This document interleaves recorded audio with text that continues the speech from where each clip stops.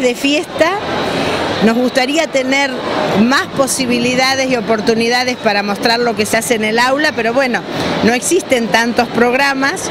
El programa que responde la, la posibilidad de mostrar lo que se lleva a cabo en actividades científicas tecnológicas juveniles se llama precisamente así, lo coordina Sebastián Palma desde la privada ministro y bueno, tiene un reglamento.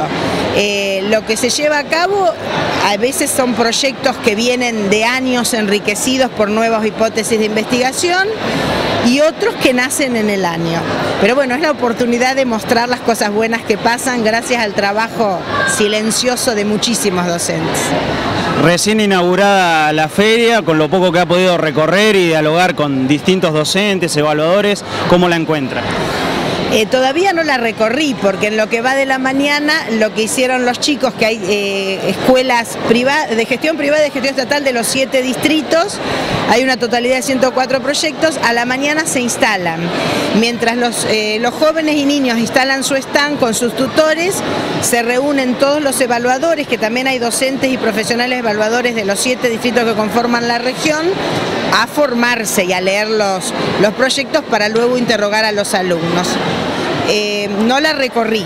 Esto sí, te tengo que decir que es la confluencia de siete ferias distritales.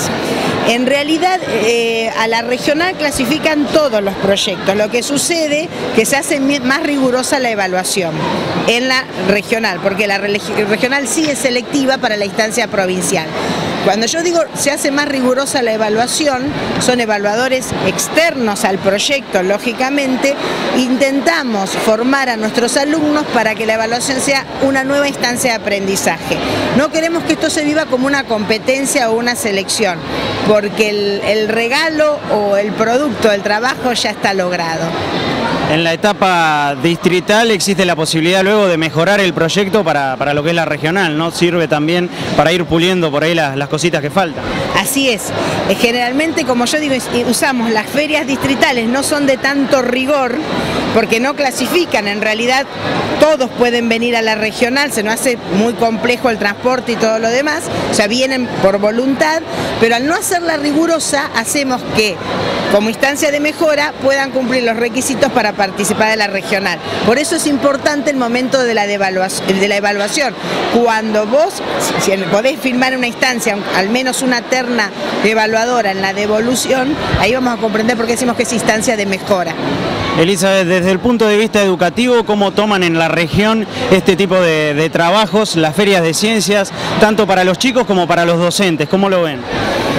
Este tipo de trabajo eh, nos ayuda, como yo decía en las palabras iniciales, a los que venimos de otro paradigma educativo, que somos los conductistas, los que disparamos un solo contenido y lo explicamos, nos posibilita con un reglamento que cumplir el transformarnos en constructivistas, o sea, no adelantarnos al saber hasta que el alumno lo redescubra.